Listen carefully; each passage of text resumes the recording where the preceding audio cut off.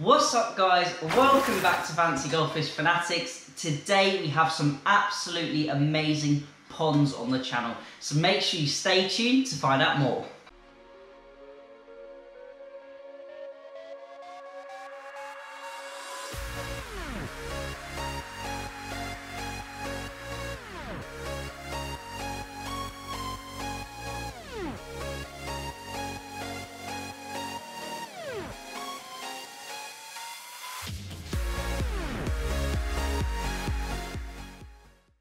Hey Fanatics family, welcome back. As always, check out those links in the description. Make sure to check out our sponsors, Jimmy Goldfish and Star Fisheries. Also, if you haven't checked it out, make sure to have a look on the website for lots of helpful and informative tips on keeping fancies. And also check out the Instagram and the Facebook group.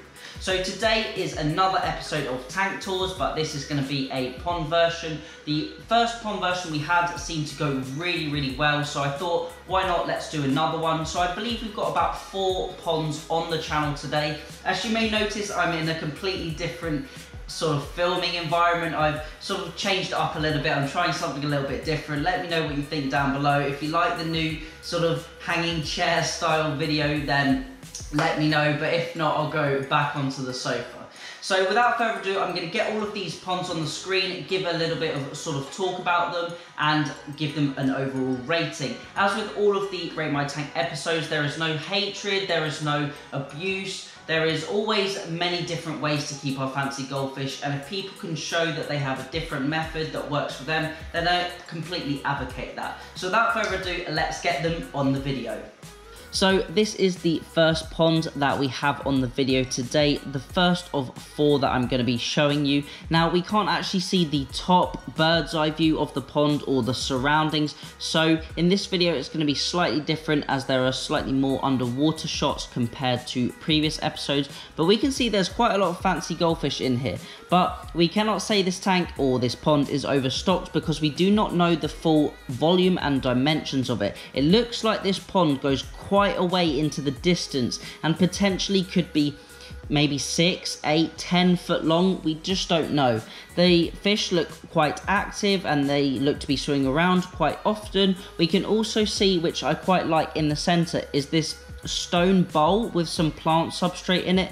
This looks to be holding some Amazon swords and some Vallisneria, which obviously gives the fish a little bit of natural habitat to hide in, swim and take cover in, and also potentially if that soil isn't too compacted then obviously they can sift through that. And i'm sure over time there will be lots of natural insects some bloodworm for example that they can dig out and they will be able to do some more natural behaviors. Also, what I really like to see is this pond is quite mature. As we can see, the walls are lined with algae, and this gives the fish a constant grazing throughout the day so they can eat lots of natural algae and get some good quality food within their system. Now, the algae will be full of fiber and help with their digestive system alongside the addition of a high quality pellet or gel food that the owner should be providing as well.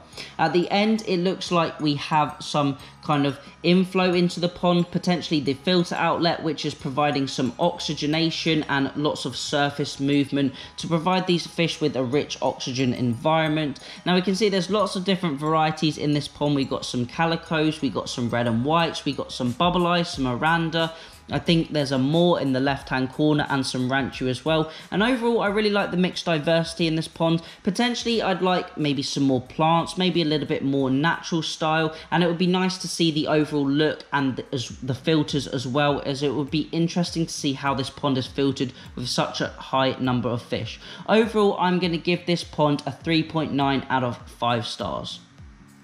So next up, as you can see, we have this absolutely lovely planted jungle style goldfish pond. I really like the use of the grow lights over the top of the system and I absolutely love the dense foliage around this system which is covering the plastic pond or plastic bowl so to say and the real use of plants here has broken up those boundaries between sort of man-made and nat nature and natural style and it is inside as well. We can also see there are a multitude of plants within the water itself. Looks like we've got some anubias in the back corner and some Elodea, which will be providing oxygenation. I assume all of the riparian plants around the system have their roots within the water somehow and are providing nitrate removal and also increasing the water quality at the same time.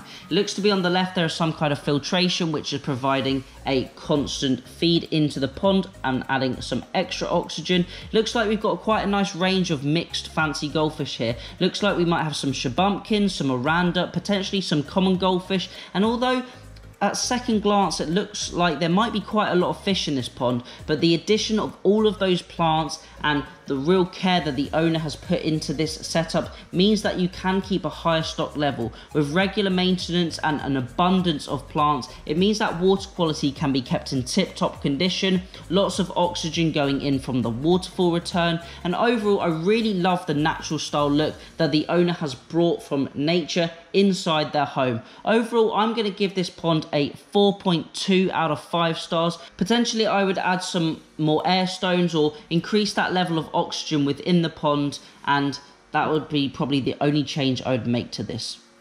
So next up we have this really nice little Ranchu pond. Well little I say because you can't see too much and this pond is going to be a good instance of why you shouldn't judge a book by its cover. Now this pond looks very small from first glance. We've got three Ranchu in here and it looks to be quite a small sort of outdoor planted system. But at the end of this clip you will see why we shouldn't judge others and others fish and aquariums or ponds by the initial look of a video or photo. Now, I really love the addition of the water lettuce and it looks to be water hyacinth in the top right corner, as well as a bit of salvinia mixed in there by the looks of it. I'm really liking the use of plants in these systems. These plants are really good at stripping out CO2 from the water, adding oxygen, as well as increasing the water quality. There's a really nice algae carpet on the sides of the pond, which will provide fish with a constant grazing throughout the day. So if they aren't being fed, as you can see they're being fed now, they have a constant supply of food as well as some natural insects to eat throughout the day as well. Now I really like the fact that this pond is more of a natural style. I find the natural style ponds have better water quality and actually better fish health. Although potentially they aren't as good as growing fish as they can potentially have more dirt and detritus in. They seem to have such a better water quality compared to an aquarium. Now we can really see the full size of this pond and just look how big it is for those fish. It doesn't look like there is many fish in this system and I actually absolutely love the use of those waterfalls which are flowing back into the pond and the planted system. Overall, I'm going to give this pond a 4.3 out of 5 stars. Absolutely loved it. Finally, we have the absolutely amazing pond from Keith S. Sorry, we've had this pond featured on the channel before, but this one has a slightly different video to it, and we're actually going to be seeing underwater into this fish pond.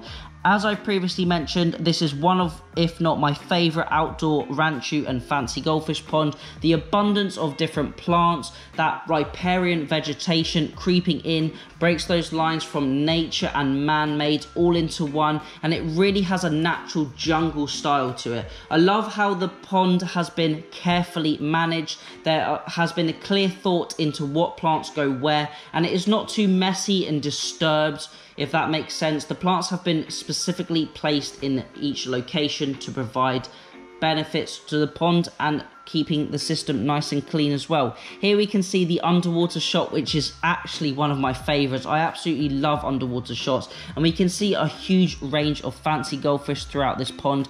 They have so many natural algae to pick on. It looks like there might be some water snails in there that they can eat as well. I'm sure there's plenty of insects and insect larvae for these fish to eat, whilst they're not eating pellets fed by the owner but I absolutely love this underwater jungle. There is so much natural cover and protection for them. There are so many areas for them to sift through and naturally graze throughout the day.